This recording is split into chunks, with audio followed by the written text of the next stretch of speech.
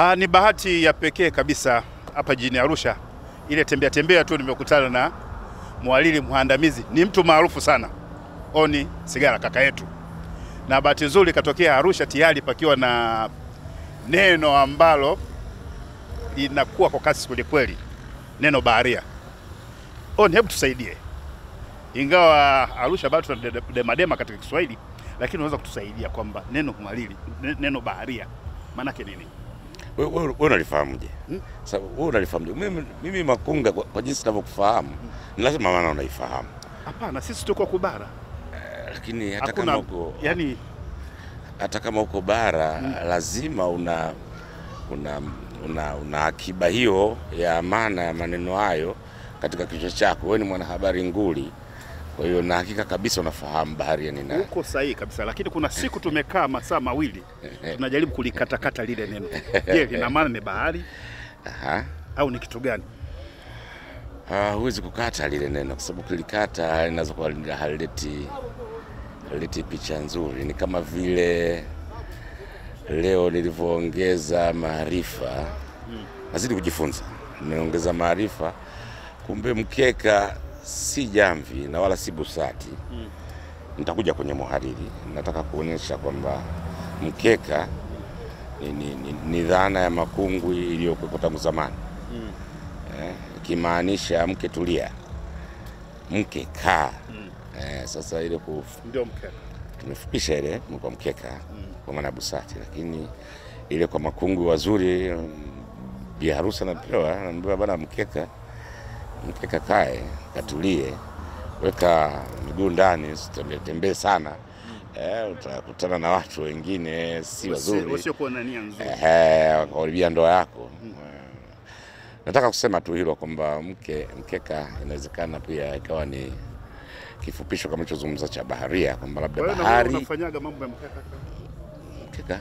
Mimi sio mke bwana, Ah, upande wa pili. nasema Nyakanga anazungumza na mke na mke anaambiwa bwana, kakae ndani usizurure, manake ndio mke kaa.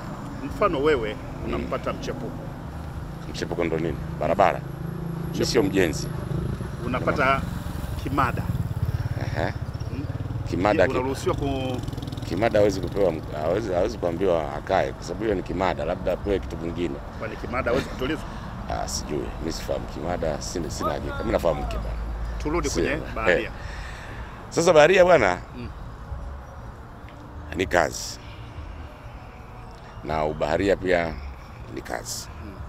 kwamba mtu anafanya kazi katika chombo cha majini mm. eh, mwana maji huyu huyo ndio baharia hasa nayemfahamu mimi, lakini dhana ambayo sasa hivi imebebeka na jamii imebebeka dhana kwamba baharia ni mtu fulani anayetafuta fedha kwa nguvu sana na labda katika matumizi ya fedha anaweza asiwe anazingatia sana. Eh, Anaweza akatafuta fedha kwa nguvu sana na matumizi ya fedha yale asizingatie sana. Sasa upande gani, mimi na wewe tutajiuliza. Wewe ni baharia? Mimi sio baharia na sijawahi kufanya kazi ya ubaharia. Kwanza nimetoka pwani, nimetoka bara, sijazaliwa pwani, japo vyombo na vifahamu. Kwa tafsiri yako kwamba kwa tafsiri ya sasa hivi yeah, kwamba baharia inaelekana ni mtu ambaye anatafuta hela. Je, wewe utafute fedha kwa nguvu sana? Na- natafuta hela, natafuta fedha kwa nguvu sana, lakini pia na, na, na kwa mwangalifu sana katika matumizi e, si, si, sijaenda kwenye sheria za mabaharia Mm. e, hao wa sasa hivi nyie, nyie, nyie hasa mabaharia Sisi ni waandishi wa habari. E, sasa mabaharia hao na hizo sifa zao ambazo mabaharia wenyewe hasa wamezikataa mm. e, ni watu ambao nadhani wameamua wao kuchukulia mambo kiurahisi kidogo mm. hawataki kusumbuliwa sana katika mambo yetu haya mm. ya Yep. vijana haya Yep. haya mambo yao ya vijana hayo mm.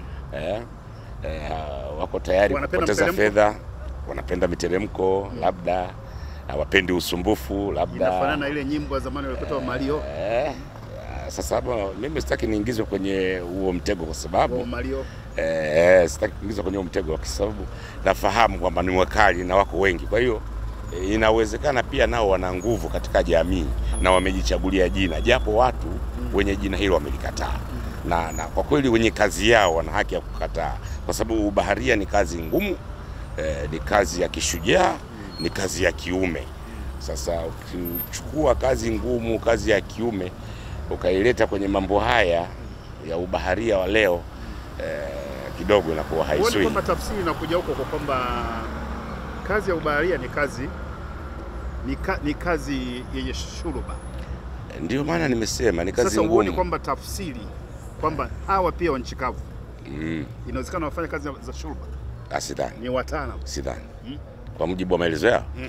na tafsiri zao. nyumbani kwako Sitaki kuzungumza, sitaki kuzungumza masharti, katiba yao na nini, mm. lakini kwa mujibu wa maelezo yao, mm. Ina maana wana katiba Ah, Usinilazimishe niingie huko. mm. Mimi na wewe, Mm. kila mtu ana tafsiri yake na amejua anavyojua yeye. Mimi sina hakika. Na- nakufahamu Hapana, na wewe ni mtoto wa nafahamu. mjini Dar es Salaam, najua hiyo katiba utakuwa umeiona. Nasema hivi, Eh. katiba yao inawezekana nimeiona, sina.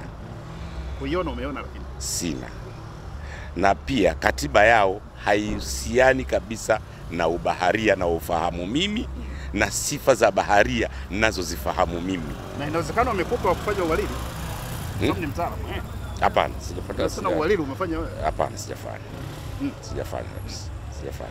Na hili neno, kuna neno lingine linaitwa linaitwa muhariri, Na sio muhariri. Mm, sio muhariri. Muhari- Mhariri ni, ni mtu ambaye sasa hivi katika jamii yetu hayupo. Amepotea. Zamani alikuwa Zamani alikuwepo. Nafikiri amepotea kwa sababu nyingi. Kwanza maradhi, mila, tamaduni nao unayoyoma na taradadi. Kwa hiyo nadhani pia muhalili likawa nalo linapotea, lakini maana itabakia pale pale. Makunga, muhalili ni mtu ambaye zamani alikuwa na heshima sana, kwa maana ya kurejesha ndoa ya mtu e, mtu akiachana na mkewe, lakini watu wazima wamekaa wametafakari, wakaona kosa hapa huenda sio la mke, ni la mume, basi hutengenezwa mtu ili akawe na uhusiano na mke wa yule mtu aliyemwacha. Uh, ili kuweza kusababisha kitu kinachoitwa wivu. Eh, wivu wa mke aweze kufanya kila linalowezekana kurudiana na mkewe. Sasa leo inakuwa ngumu kidogo, nadhani unafahamu maradhi mengi. Eh, watu hawaaminiani na hii kitu nadhani haina u, haina, haina, haina ushirikiano. Mm. kwa hiyo eh, wahalili sasa hivi hawapo, labda kama ukipata bahati hiyo wewe itakuwa jambo la heri sana, wewe katika maisha yako hujapata nafasi ya kuwa mwalimu na wala siwezi miaka ya nyuma kabla ya janga la magonjwa kuingia? mimi na wewe Makunga hatujatofautiana sana umri, Mm. labda kama mwenzangu ulipata nafasi, mimi sijui, mimi sijapata. mimi na wewe, mimi sijaishi mjini Dar es Salaam, jiji kubwa. Sasa haya mambo basi, kama ni hivyo, haya mambo yalikuwa akifanyika sana mikoani, e, yanafanyika sana vijijini. Kwa hiyo labda wewe hiyo nafasi ndio zaidi ulipaswa kuwa nayo, na, na kwa kawaida mhariri ni ndani ya familia e, ndani ya kijiji e, ndio wanafanya hiyo. Sasa mjini hapana, e, ndani ya kijiji, ndani ya tarafa. Sasa haya Na hili neno kidosho kidosho la kizamani kidogo, kisura, kipusa, kipusa, kiposa. yako mengi sana. Mm. Mm, Mwanamume anaweza kutoa kidosho? Hapana, nitaka hawezi kuwa kisura. nitaka kufikiria hawezi kuwa kisura. hapa hawezekani, haiwezekani. Nitaka Nilitaka kufikiria kwamba unajua, labda nikisema labda mrembo, mwanamume anaweza kuwa mrembo, Lakini sio kidosho. eh, si kidosho. Eh, eh, kidosho ni neno la zamani na kwa kweli kidosho na, na wasiwasi sana, huenda likawa lilikuwa simo, lakini likawa na mashiko katika jamii Mm. na likaingia katika makubaliano kwamba liingie katika kamusi na liwe neno sanifu lisanifiwe. Kidosho kwa maana ya msichana asiyeolewa, mrembo, huyo ndio kidosho. Kwa hiyo nafikiri kidosho hata, hata leo vidosho wapo. Bado wapo. eh, bado wapo, japo inawezekana kwa nadra sana, kwa sababu sifa nyingine ya kidosho ni utulivu pia, si kwamba eh, kwa kuwa ni kidosho basi eh, inakuwa kila mahali yupo. Hiyo sifa hiyo nadhani wengi wanaweza kuwa wamepungukiwa, japo wapo. Na Kuna maneno mengine pia na kasikasi kidogo. Kuna neno kibamia, hakuna. Sio bamia, kibamia, hakuna lakini lipo mtaani kama baharia. kama sijatisikia mimi nafahamu bamia kama Kibamia, kama- sio bamia, kibamia, hapana, hakuna kwamba na hata upatanisho wa kisarufi tu peke yake unakataa. Anakwambia, Bamia ni mboga? anakwambia mzeoni yule kibamia. Hujai kusikia? Hapana, sijasikia, sijasikia. Nafahamu kwamba bamia ni mboga. Sasa labda kama wewe umeshakulisikia, hebu nipe maana kidogo, nijaribu ku, kuivuta nione, je, Yake bahati mbaya kwamba mimi sina utaalamu wa Kiswahili. na hamna bahati mbaya na bahati nzuri tu. Bahati nzuri Bahati ni bahati, haijai kuwa mbaya hata siku moja. Kwa hiyo Basi mimi nashukuru Holmes Sigala kuwepo hapa mjini. Eh, at least tume eh, tumeelimika na masuala ya Kiswahili. umen-